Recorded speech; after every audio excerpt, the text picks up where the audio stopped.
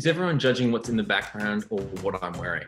There's not much to judge. Everyone's in the same boat. People have attended mine in pajamas or they've gotten ready. In fact, most people are really very concerned about what's on their own background and what they are wearing, so they're not really looking at you. You can pretty much move your laptop to where you want it to be. You don't have to be facing an embarrassing wall full of your old childhood photos. I mean, there's some really cool backgrounds on Zoom. There's one on the Zoom app that's um, outer space, so people just sit there in another planet. There's always compromises, so if you want to dress more professional up top, if you're on camera, you can always wear comfy socks or pajama pants on the bottom. I'm not saying that's what I'm doing.